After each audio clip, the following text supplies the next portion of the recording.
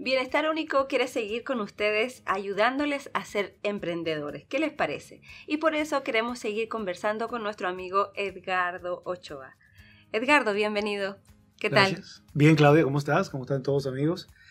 Eh, bueno, gracias por la invitación a continuar este, esta, este viaje básico, pero muy importante sobre el emprendimiento. Claro que sí.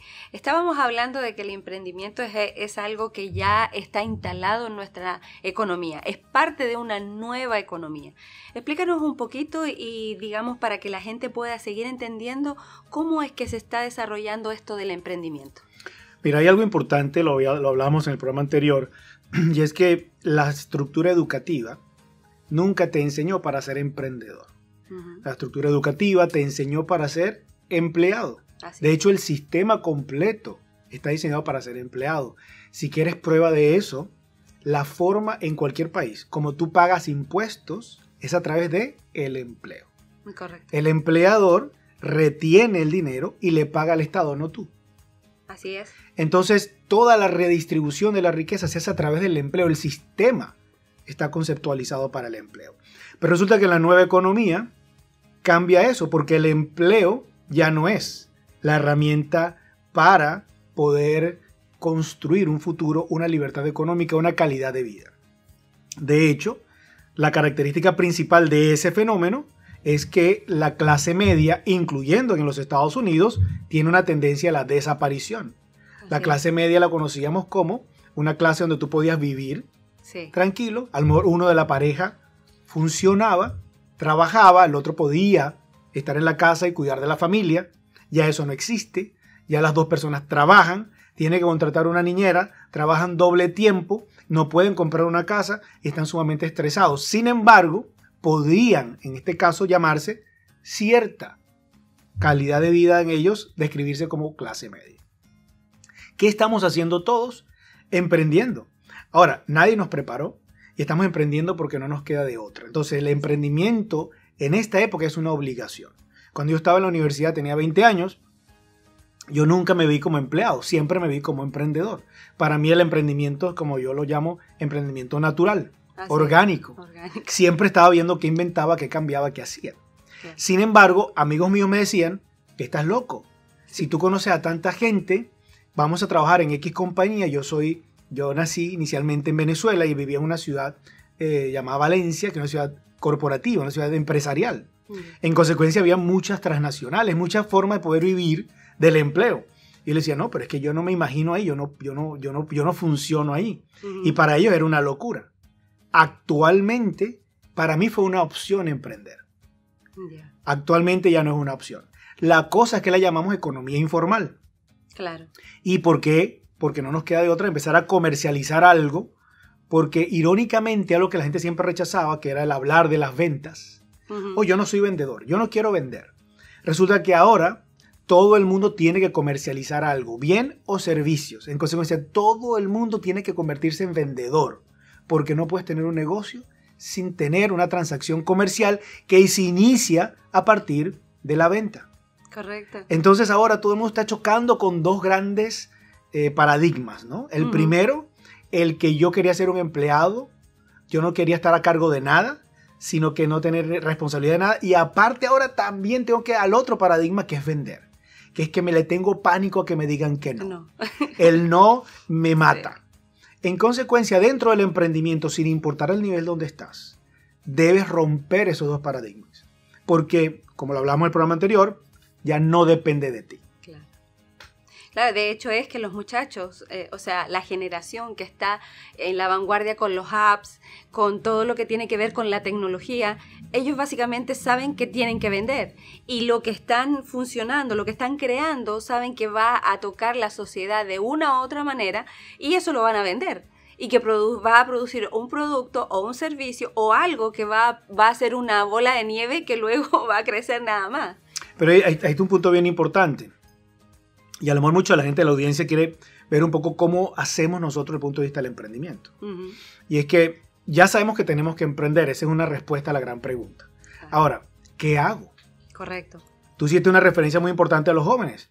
Ellos están viendo en la tecnología una posibilidad, pero vamos a ver por qué. un muchacho joven no tiene acceso a capital. No, ¿Verdad que no? no. A lo mejor está empezando en la universidad, donde antes me decían que yo después que terminaba la universidad hacía pasantías, trabajaba ahí y en unos 10 a 15 años tenía una gerencia. Exactamente. Ahora el muchacho no ha, entra- no ha salido ni siquiera de high school y ya le están diciendo, tienes que emprender y abrir tu propio negocio. Porque allá afuera, aunque estudies, y en el caso de Estados Unidos es un poquito más dramático, porque en Estados Unidos nos endeudamos. Sí, Entonces terminamos, nos graduamos endeudados exactamente. y tratamos de pagar a las deudas con un trabajo muy básico. Ahora, le están diciendo debes emprender. ¿En qué emprendo? Pues en algo que sea de bajo costo, Correcto. algo que sea de propiedad intelectual. Tengo que tratar de resolver un problema. Claro. Si usted está emprendiendo, y esto es un mensaje directo, si usted está emprendiendo y usted, su emprendimiento no resuelve un problema, ojo. Porque si usted no resuelve un problema a grandes cantidades de personas, su emprendimiento está en peligro. Lo, la mayor probabilidad es que usted fracase. Entonces, partiendo de ese punto, nosotros empezamos a decir, ok, ¿cuáles son las herramientas de, por ejemplo, el mercado que ahora conocemos como el de los startups? Ya. Y lo puede buscar. El startup significa esas nuevas compañías que se están formando todas en tecnología. Lo que ellos están haciendo, y muchos han visto el programa de televisión Shark Tank, o el Sí. tanque de, de- de los de tiburones. tiburones, donde están unos empresarios exitosos, tú vas, presentas tu idea, Claro. y esa persona dicen si tu idea vale o no vale. Correcto. ¿Por qué se ha estructurado eso y yo con mi idea no voy al banco tradicionalmente como decía? Ujú, Vete al banco, que en el banco con tu idea, esta persona del banco te va a pagar y te va a dar un dinero para que te financiar. Para que no. financiarte, claro. Ahora voy a un Shark Tank. Ahora voy a un, a un lugar a presentarle para que un inversor me dé el dinero Un inversionista, correcto. para poder construir el negocio. Así es. Entonces, partiendo de eso, se empieza a conceptualizar un negocio mucho más, una estructura diferente, Más dinámica, porque ahora yo puedo inclusive, si yo no tenía mi producto o servicio determinado al momento que iba al banco, con tres o cuatro años de experiencia, el banco no me iba a dar dinero. Correcto. Nadie iba a asumir ese riesgo. En la nueva economía, como no hay tiempo, yo no puedo esperar que tu idea, sin plata, desde la sala de tu casa, puedas en cuatro años estar en tu negocio. Entonces ya voy a riesgo y me hago parte de tu compañía y te exijo ciertas condiciones y ahora tengo que prepararme para el emprendimiento y educarme. Todo eso está pasando en, este, en un solo momento. E- e- Ese, ese punto eh, eh, quiero tocarlo porque para poder tener un emprendimiento y, mantenerte, que eso ha sido un problema que yo he visto, sobre todo e- en las redes de mercadeo, es que la persona que entra, si no tiene un, eh, como te dijera, una base de educación para ese emprendimiento, es muy probable que termine saliéndose y volviendo a lo que estaba haciendo y muy, muy maltrecho porque se siente hasta frustrado y maltratado, digamos, por, por incluso hasta por la persona que lo, lo invitó a, a participar de ese emprendimiento. Fíjate importante que ahora traemos el- el- el- las redes de mercadeo a la mesa, ¿no? Las redes de mercadeo se han, se han convertido y seguirán siendo tendencia. Ujú, Si usted no las conoce y las está juzgando, debe dejar de juzgarlas y entenderlas, porque son una, una respuesta al problema que tenemos económico. Yo necesito emprender, es una necesidad, estamos de acuerdo todos en eso. Pero ahora, ¿en qué lo hago? Claro. Todo me cuesta muchísimo dinero si yo no tengo la capacidad como los jóvenes de saber, los, de saber la nueva La tecnología, nueva tecnología. de presentar proyectos que alguien me los pueda financiar a través de un... ¿Cómo emprendo? Y si estoy solo, ¿quién me educa? Claro. Si estoy solo, ¿quién diseña el producto? Soy parte de una tendencia. ¿Cómo me mantengo en el tiempo? ¿Quién me ayuda? Porque el problema es que tienen que tenerlo claro. No es el chapulín colorado. Porque toda la gente se queda viendo. ¿Y quién será? No, no, no, no. ¿Quién será que viene a ayudarme? Si usted está solo entre- en un negocio tradicional, usted estaba solo. El negocio tradicional, ¿qué tenía como característica? Que tú eras el dueño. Correcto. ¿Significa eso que tú sabías todo lo que necesitas en tu negocio? No, No. no necesariamente. Pero como cuando eres papá, ¿no? Los, niños piensan que tú te lo sabes todo. Y tú tienes que hacerlo sentir que te lo sabes todo para no perder autoridad. Entonces el pequeño negocio empezaba a mentirse a él mismo de que él lo sabía todo para poder mantener el control. En consecuencia, ¿qué creabas? Una red de personas en tu negocio, empleados, que no te creían, que consideraban que tú no sabías nada. ¿Por qué? Porque lo más seguro que el que estaba, yo estaba atendiendo al cliente todos los días y tú tomabas decisiones sin preguntarme a mí. ¿Cómo es posible? Si yo soy la persona que habla con el cliente, ¿cómo tú me vas a decir qué es lo que te dice el cliente? Y eso pasa, pasa todavía en los pequeños negocios, pero eso tiene la tendencia a quebrar. Ahora, si tú ves cómo está pasando ahora en los emprendimientos nuevos. Yo ahora tengo que poder crear un equipo de personas. Si tú vas a hacer a cualquier Shark Tank, te van a preguntar quién es tu equipo. Si usted va solo a un Shark Tank a presentar una idea, te van a decir que no. Usted tiene que tener un equipo que compense lo que usted no sabe. Porque a lo mejor usted es la persona de la idea, pero si usted no tiene las bases, el equipo que lo ayude, le van a decir que no. De entrada, no importa que la idea sea buena. Lo más que pueden hacer es ofrecerle un dinero para comprarle la idea y sacarlo de la jugada. Porque saben que usted solo no lo va a poder hacer. Ahora, cuando vamos a redes de mercadeo, ¿cuál es la diferencia? Que yo puedo entrar en un equipo de personas que ya están haciendo el negocio, con muy poquita inversión y con la posibilidad, ojo, la posibilidad de construir un negocio. Pero si aquí en el Doral o en Estados Unidos, casi el 80% de los pequeños negocios que se abren ahora no duran ni un año y medio. En consecuencia, estadística, sí, estadística, esos números, ahí no hay, mm, ¿por qué va a ser diferente en redes de mercadeo? La gente dice, en redes de mercadeo hay mucha gente que se sale. Sí, como en cualquier otro negocio, la diferencia es que debes menos plata. Porque te metiste en un negocio, invertiste 80, 100 mil dólares y en un año y medio estás quebrado. En ninguna compañía de red de mercadeo, a menos que te vuelvas loco, con gente que no sabe, te competiste en la compañía equivocada o en el negocio equivocado, con la gente equivocada y hace otra historia, pero es que no importa el negocio, usted se meta con la persona equivocada. Es más, se casa con la persona equivocada. Porque mucha gente dice, no, es que ¿quién te ha preparado para poder elegir a la persona correcta? Nadie, claro. Una vez más, tenemos que educarnos. Lo que facilita las redes de mercadeo es que disminuye el riesgo, porque entro con mucho menos dinero. Correcto. A la gente dice, ay, voy a emprender cuánto, mil dólares, dos mil dólares, diez mil dólares. No importa el emprendimiento que estés, si estás haciendo un negocio formal, usted va a necesitar miles y miles de dólares. Ah, que yo puedo entrar con cero dinero. Cuidado, eso creo que lo hablamos en uno de los programas anteriores. El cero significa cero rentabilidad. Un negocio sin margen no es negocio. Claro. ¿Usted de dónde va a sacar el dinero si no hay margen? Así es. Entonces su tendencia debe ser a evaluar negocios que tengan esa posibilidad. Y si usted evalúa negocios que tengan esa posibilidad y va aprendiendo en el proceso, y si tiene la oportunidad de reunirse con gente que tenga los valores, que tenga los, principios, que estén de verdad comprometidos a desarrollar el negocio. Porque yo tengo que aprender, usted va a la universidad por cuatro o cinco años para aprender una carrera que después le dan dos o tres años de práctica para empezar a generar dinero. La gente entra en redes de mercadeo porque hay unos cuantos habladores unos cuantos mentirosos que dicen por ahí, usted se va a hacer millonario en 22 horas. Y usted se lo cree. Pero usted sabe que no es así.